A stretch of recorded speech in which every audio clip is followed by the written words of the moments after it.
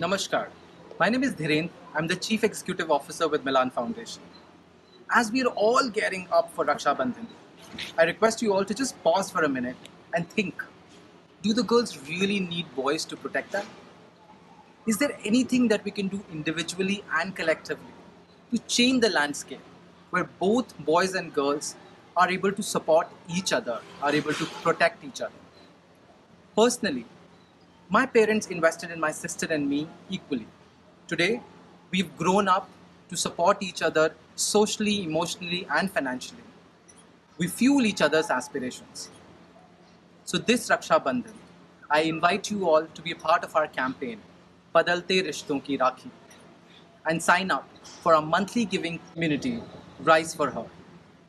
With your investment, we will ensure that girls from vulnerable communities in India are educated, healthy, and safe.